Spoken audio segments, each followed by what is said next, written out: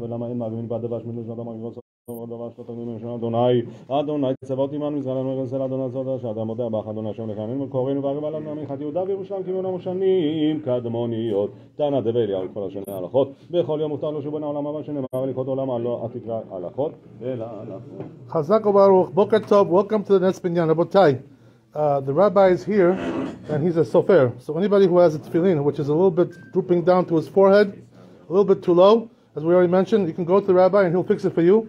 He just has to say the Hashem Kedushat tefillin one time, and he fixes everybody's tefillin. Whoever has it a little bit too low, a little bit on the forehead, Mr. Hashem, go to the rabbi and he'll help you. She's very happy to help you. First time is uh, for free, first time. First time for free. okay. I have another thing I want to tell you about the rabbi. He's such a gentleman, you know. I was sitting over here, and he passes me one of those stenders, you know, to put the sidur, so it can be nice and well well put. So when he passed me the stender to put in my siddur, he's such a gentleman. It reminded me of halacha also. So I'll tell you what the halacha is. Something interesting, right? It says in the, it says in the Shulchan Aruch, the Ramah, Yoreh Deah, that you're not allowed to take service from somebody who's shoneh halachot. Somebody who's a Talmid Chacham, learns halachot every day. You're not allowed to take service from him. So what does that mean? You shouldn't ask him, a person who's Talmid Chacham, uh, do me a favor, you know, go to the store and buy me some cigarettes, you know, or buy me some, uh, you know, buy me some, uh, uh, some pizza, get me a pizza pie. You know, you're going to 108, right? Okay, get me a pizza, yeah, bring me back. You're asking Talmid Chacham to, to be served for you? You know, you shouldn't ask him to serve you. He's a service Hashem only. He doesn't serve you. He's not your servant. He's a servant, servant of Hashem. So you're not allowed to ask somebody, uh, Talmid Chacham, to serve you like that. You know, uh, and also same thing with a Kohen, as you know, right? A Kohen, you're not allowed to ask him, Kohen, uh, do me a favor, uh, pass me, you know, the the, the, the plow, the plow over there. You know, give me, Plow, you know, plow, yeah, yeah, plow, pass it over to me. We Georgians, we say plow. You know, we're, we're a little bit different. You know, whatever. What can I tell you, right? We're different breed, a little bit different breed. So, right, the plowy, plowy. so, uh, whatever, right? So, you're not allowed to t- tell the Kohen like this because he's your, he's not supposed to be serving you. He's supposed to be serving Hashem. He's, he's, he's chosen exactly for Hashem. You're serving Hashem, but not not serving the people. No, you're serving Hashem, right? That's the thing, you know. You're you're being the shliach for them to serve Hashem, but you're not serving them. This is kodesh. You know what I mean? That's the, that whole thing.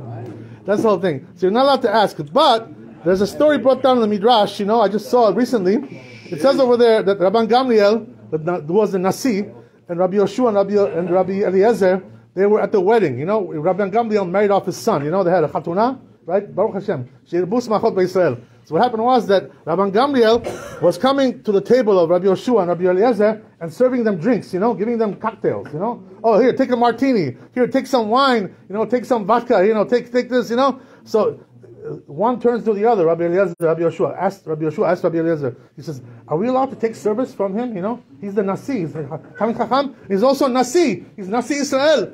How can we take service from him? Are we allowed to do that? You know." So answered Rabbi Eliezer to Rabbi Yoshua. He says, "Don't worry." He says, "Don't worry about that. Why? We find that even a, a greater person served people. You know who that was? Avraham Avinu. He was a Gedol Ador. He served the Malachim right when they came. He thought they were Arabim, and even Arabim he served them. So, so uh, what's the what's the what's the halakha amendment? You're allowed to take service, or you're not allowed to take service. So the answer is that if he does it for you without asking, you're allowed to take it from him. That's that's mutar. But if if, he, if you have to ask him to do it, that's you're allowed to. You're not allowed to do. Right? That, that, that's the difference. You understand? Don't ask him, but if he take, tells, gives you, give it, take it. That's that's the halakha. This is this is the way it is. There's a story brought down also from the Baal Shem Tov al Bashalom. You know what? You know, you know, you know what it says, right? That Baal Shem Tov one time he, he, he couldn't believe it. The Baal Shem Tov. He saw somebody on Shabbat that was mechalel Shabbat. You know, in front of him, in front of him, was mechalel Shabbat.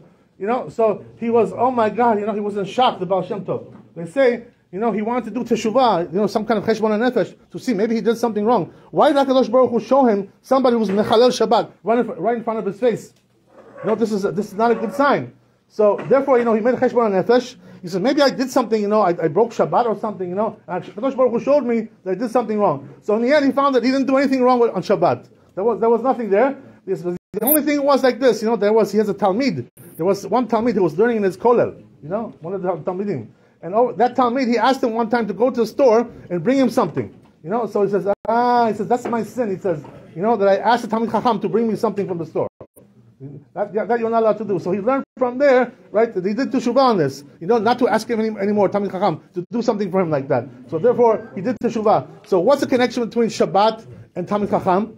You know, why, why did Baruch Hu show him that somebody's breaking Shabbat? Because he asked the Talmid Chacham, what's the connection? So you know what they say, right? Talmid Chachamim, they're called Shabbat. Just like Shabbat is Kadosh, Talmid Chachamim are Kadosh. So therefore, you're not, when you, when you ask a Talmid Chacham to, to, to do something for you personal like that, it's like you're breaking Shabbat because you're breaking the Kedusha of his, of his Torah. Hmm. Baruch Adonai Le'olam, Amen ve'amen. Chazak u'baruch.